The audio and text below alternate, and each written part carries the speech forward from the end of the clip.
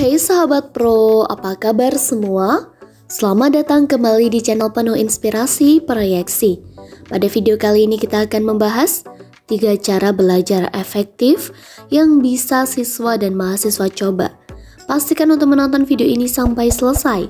Sebelum lanjut, jangan lupa klik like, komen, dan subscribe channel proyeksi.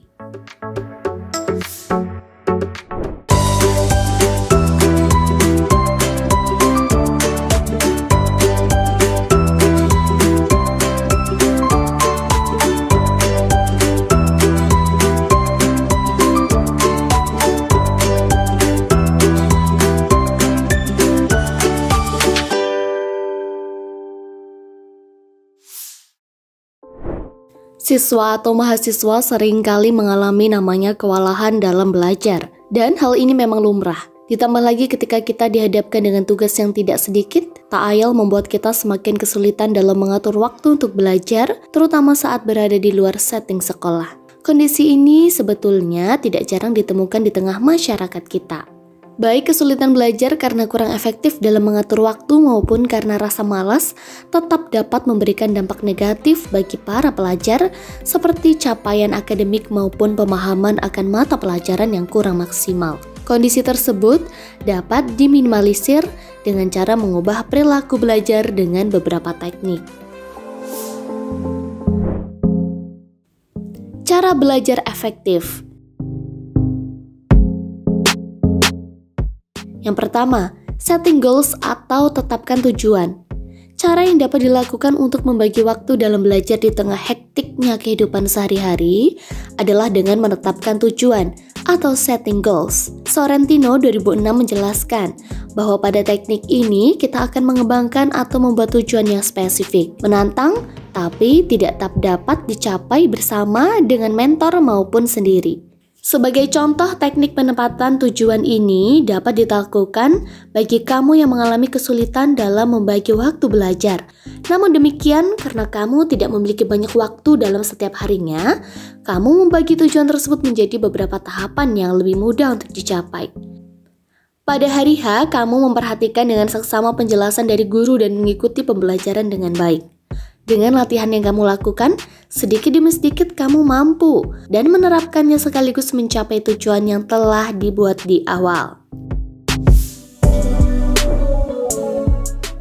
Yang kedua, pakai teknik Pomodoro. Kalau kamu suka belajar sendiri, cobalah cara belajar Pomodoro. Teknik belajar Pomodoro ini diperkenalkan oleh Francesco Cirillo pada tahun 1980-an akhir. Terdiri dari lima tahapan. Nah, ketika melakukan cara ini, jangan fokus terhadap waktu.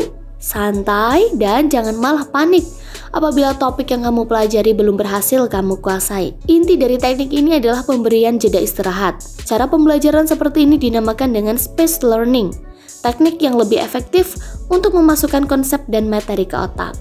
Nah, jangka waktu 25 menit adalah waktu yang pas, yang juga digunakan oleh Toru Kumon. Dan metodenya dalam mengajari anaknya sewaktu SD. Setelah berbagai trial dan error, Toru menemukan formula belajar yang pas. Dia menyuruh anaknya mengerjakan latihan 30 menit setiap harinya. Dan semakin lama, soal yang muncul semakin susah dan mengarah ke materi lain yang tingkatannya lebih tinggi. Yang ketiga, teknik Feynman. Berbeda dengan Poromodo yang mengatur jendela waktu belajar, Feynman merupakan teknik dengan cara praktek. Ada empat tahapan dalam siklus Feynman. Pertama, kamu coba pelajari topik tersebut. Setelahnya ajak teman kamu yang awam. Dan coba jelaskan tentang materi yang kamu pelajari. Semakin orang itu paham dengan penjelasan kamu, tandanya kamu sudah menguasai konsep tersebut dengan baik.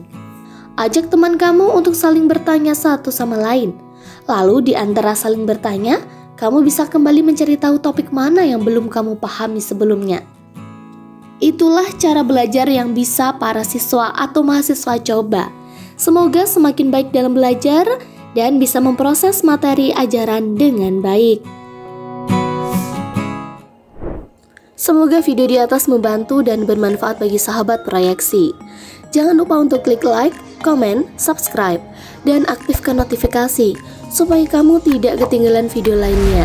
Dan sampai jumpa di video berikutnya.